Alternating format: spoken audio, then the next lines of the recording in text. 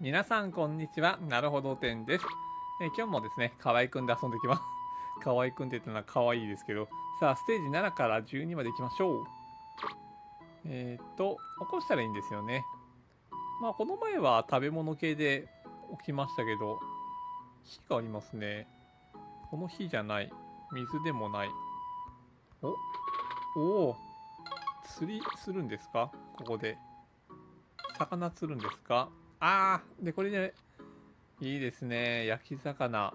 で、これ捕まえて、もぐもぐと。あ、むしゃむしゃだった。さあ、クリアですね。さあ、ステージ8ですか？これ何でしょう？ゴールドカード。クレジットカードってことですかねこれで買うんですかねもしかして。あ、カワゾンさん。なんで、なんで川、川ゾンさんなんですかね？川崎市かなんかですかね？それか買うかなんかですか？うーん、いや、これちょっと頭叩きますか。あの靴何だったんですかね前回起きましたけど。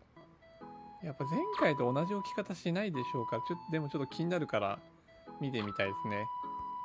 靴で。もう、体勢がついたんですかねダメやっぱり。やっぱり、匂い覚えたみたいですね。なんかワンちゃんみたいな感じですけど。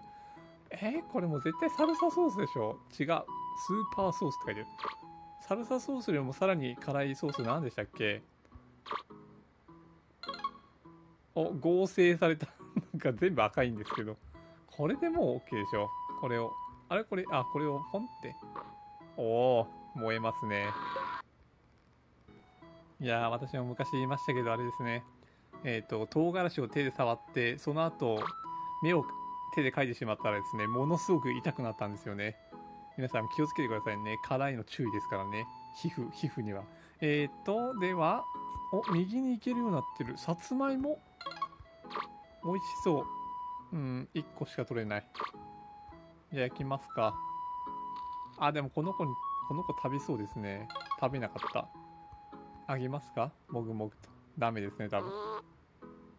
お合ってた？おお、起きましたね。いや、でももしかしたら、2パターンクリアで方法あるとかそういうことじゃないですよね。これで、お芋をこっちに開けると、起きない。まさか芋は寝ながら食べれるという特技があったとですね。それはちょっと気づかなかったですね。まさか間違えようとして正解するっていうですね、あるまじき行為が 行われましたけど、さあ、ではステージ11ですね。えー、っと、風船絶対触りたい。その前に、おこれはキューピッドのやつですかなんか久々に見ましたけど、これで風船割るとかじゃなくてですかね。おあ、ダメですか矢が刺さった。本当矢が刺さったら嫌ねえって感じですね。さあ、では、えーっと、これで割るんですか風船もいるってことですか風船誰かに持ってもらうあ、ダメですか。うん、じゃあ河合くんに持ってもらうんですかね。まあ、それだったら矢があるならあれですよ。頭の上にリンゴかなんか乗せてから、リンゴに矢を放つみたいな、そっちの方がいいと思いますけど。じゃあ、はい。で、これでパーンと。あ、え、ダメ？